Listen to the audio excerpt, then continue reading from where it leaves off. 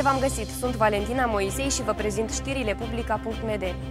Un incendiu i-a băgat în sperieți pe locatarii unui bloc din sectorul botanic al capitalei. Flăcările au izbucnit noaptea trecută aproape de ora 23 în subsolul clădirii cu 9 etaje. Din cauza fumului emanat din subsol, locatarii de la parterul blocului au fost evacuați. La fața locului au intervenit două autospeciale ale pompierilor, care au stins incendiul în mai puțin de 5 minute.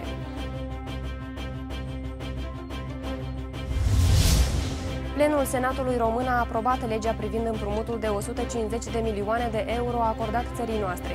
68 de senatori s-au pronunțat în favoarea deciziei, iar unul a fost împotrivă. Documentul prevede acordarea banilor în trei tranșe pe un termen de 5 ani. De sărbători, calea ferată din Moldova suplimentează trenurile cu mai multe vagoane. Garniturile care pleacă din Bălți spre Ochnița și Ungheni vor fi suplimentate astăzi cu două vagoane. Și trenul de pe linia Chișinău-Moscova va circula în perioada 26-28 aprilie cu până la 5 vagoane în plus. Prețul călătoriilor va rămâne neschimbat.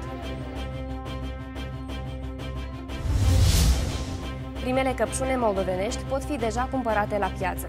De asemenea, tarabele sunt tot mai pline cu legume autohtone, ale căror prețuri sunt la nivelul celor de anul trecut, spun vânzătorii.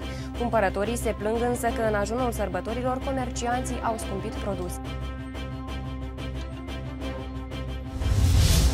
Palatul Culturii din Iași și-a deschis porțile după 8 ani de restaurări. Clădirea emblema a orașului, care găzduiește patru muzee, va putea fi vizitată de mâine. Deschiderea oficială a Palatului a avut loc aseară în prezența premierului român Dacian Cioloș și al altor personalități de valoare. Printre invitații speciali a evenimentului s-a numărat și ministrul moldovean al culturii Monica Babuc.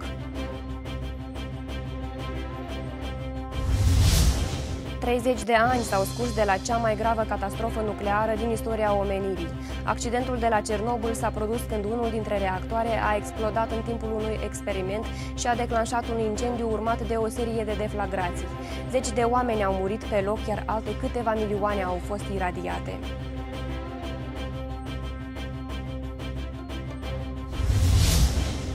Dacă ați fost martorul unei situații interesante ce poate deveni o știre, așteptăm imaginile în secțiunea Știrea ta de pe publica.md.